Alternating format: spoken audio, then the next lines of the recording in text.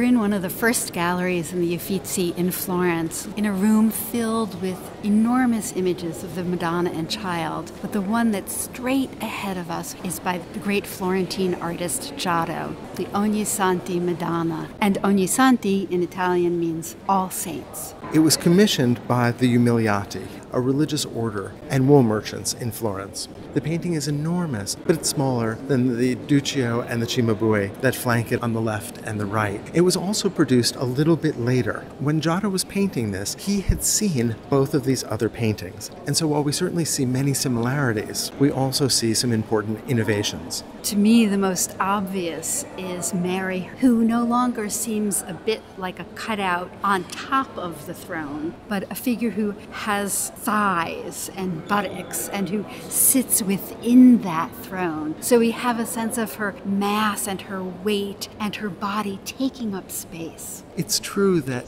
you get a sense, especially if you look at the Cimabue, that you're looking at a more ethereal figure, that if somehow your hand could push against her, she would float away like a piece of paper. Whereas with the Giotto, you get the sense that she would push back. She's solid. But if you look at the Cimabue, those folds between the legs are indicated by gold lines, gold striations, and they suggest fabric. But Giotto's figure, that blue drapery that falls across her lap, really looks like heavy woolen fabric. There's no gold in Giotto's representation of that blue garment, except at the hem. He's indicating the roundness of her body purely through the use of light and shadow, what the Italians call chiaroscuro. That is, this modulation that creates an illusion of form turning in space, even though we're looking at a two dimensional surface. And we see that very much in her neck. The left side is in shadow. There's a shadow cast by her chin, and we get a sense of her breasts under that drapery. But it's not just the light and shadow that Giotto is interested in. He also creates the sense of reality, of the illusion of dimension through the architecture of the throne. The wings of the throne seem to come towards us, and there's a real emphasis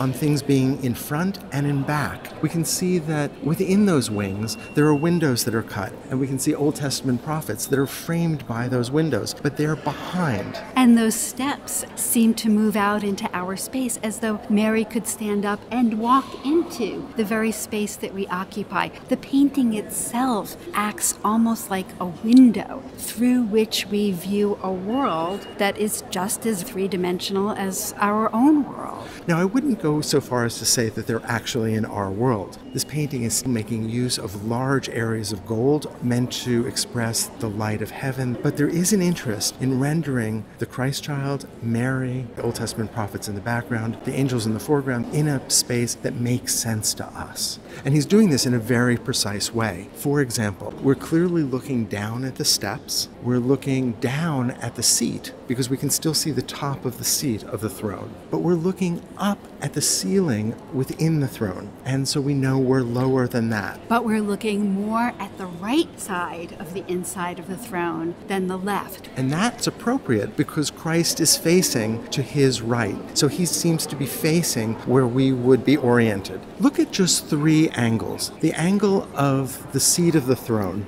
the angle at the top of the cutout, and then the angle that's towards the bottom of the cutout. And you'll notice that that last angle is perfectly horizontal. This is our eye level. And so Giotto is thinking about our placement in space in relationship to these divine figures. Giotto is working in one of the wealthiest countries in the world, in the city state of Florence. And so Giotto's painting is a wonderful opportunity to understand this transition from the late medieval to what will become the Renaissance.